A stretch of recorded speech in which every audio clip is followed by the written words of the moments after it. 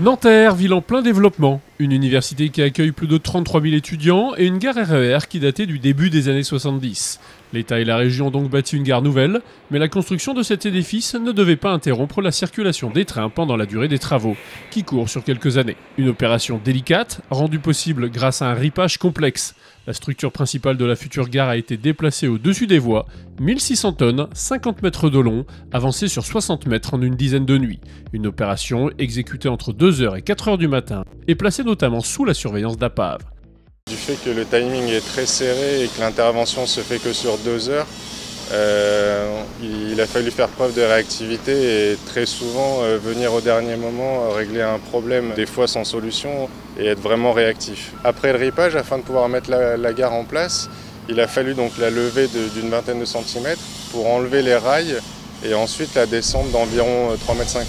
Donc la gare a été suspendue par des vérins à câble pendant un mois à peu près. L'opération de ripage consiste en un glissement sur des rails de l'ouvrage afin d'éviter de bloquer le trafic.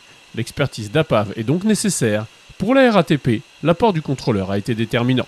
On a eu, grâce à l'aide de Christian Loretta, qui nous accompagne sur cette opération, une assistance à la maîtrise d'ouvrage pour, à certains moments, débloquer des situations où, euh, si chacun gardait sa position, que l'entreprise, la maîtrise d'œuvre, le maître d'ouvrage, on s'en sortait pas.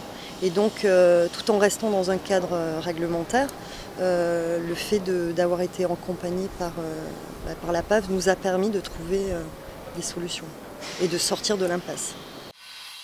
La mission de contrôle extérieur a également été complétée par une mission de contrôle technique de construction du bâtiment.